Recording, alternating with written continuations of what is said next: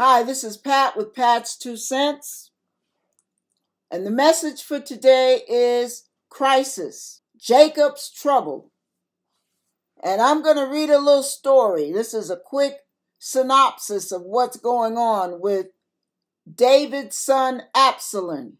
David was in a crisis. How many of you are in a crisis right now? How many of you have dealt with a crisis this week? Mm-hmm.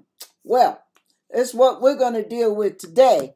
And we're going to show how God deals with some things, how we are to deal with some things, how our tendencies are. You know what crisis brings up? Sometimes it makes Jack jump out the box. You know how that goes. But anyway, we're going to deal with it with David and Absalom right now. The story of Absalom. This is from Learn Religions. The Bible says Absalom was praised as the most handsome man in all Israel. He was flawless from head to foot. all right. When he cut his hair once a year, only because it became too heavy, it weighed five pounds, it seemed everyone loved him. Absalom had a beautiful sister named Tamar, who was a virgin. Another of David's sons was Amnon, was their half brother. Amnon fell in love with Tamar, raped her, then rejected her in disgrace. For two years, Absalom kept silent, sheltering Tamar in his house. He had expected his father, David, to punish Amnon for his act. When David did nothing, Absalom's rage and anger seethed into a vengeful plot. Well, one day, Absalom invited all the king's sons to a sheep shearing festival. When Ammon was celebrating, Absalom ordered his soldiers to kill. After the assassination, Absalom fled to Geshur, northeast of the Sea of Galilee, to the house of his grandfather. He did there, he stayed there for three years. David missed his son deeply. The Bible says in 2 Samuel 13 37 that David mourned for his son day after day. Finally, David allowed him to come back to Jerusalem. Gradually, Absalom began to undermine King David. Any of you feel like people are undermining you? Any of you feel like the enemy is undermining you? Undermining your purpose, undermining your calling, undermining your assignments, your God given assignments, undermining your progress. Well, a lot of us go through that, especially the way the demons are bouncing off the, the rafters today. All right. Gradually, Absalom began to undermine King David, usurping his authority and speaking against him to the people. Under the pretense of honoring a vow, Absalom went to Hebron and began to gather an army. He sent messengers throughout the land proclaiming his kingship. When King David learned of the rebellion, he and his fellow followers fled Jerusalem. Fled. Ain't that something? The king fled. Meanwhile, Absalom took advice from his counselors on the best way to defeat his father before the battle. David ordered his troops not to harm Absalom.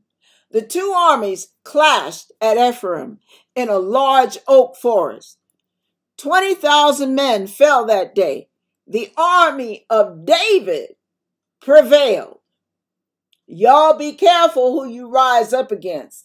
If you rise up against the people of God, the man of God, the woman of God, a child of God, you rise up against them, God will slap you down. You better watch it. Moving right along. As Absalom was riding his mule under a tree, and here's a perfect example of what I just said. So, some of you who have enemies that are coming at you, Watch. What does God say? Your enemy comes one way, he'll send him flying seven ways. As Absalom was riding his mule under a tree, his hair, his pride and joy, y'all, his hair got entangled in the branches. The mule ran off, leaving Absalom hanging in the air, helpless. Joab, one of David's generals, took three javelins and thrust them into Absalom's heart. Then ten of Joab's army, armor bearers, circled Absalom and killed him. Now listen to this. Listen to this. This is what happens. Some of you think you don't know what you're going to do about your enemies. You are at your wits' end.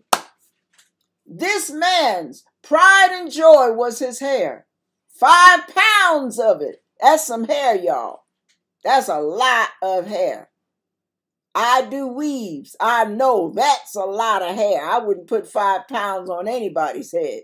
They'd end up with whiplash, trying to hold their head up. But listen to this. The very thing that set him apart in his beauty, in his in his his splendor, was the very thing God used to kill him. See, some of you in the world today who are finding it a pleasure to attack God's people. You, you find it very enjoyable to bring God's people down, to fire them from their jobs, to knock the rug out from under them, to make them look like a fool in public. And you use your gifts, you use your strength, you use your attributes to tear someone else down.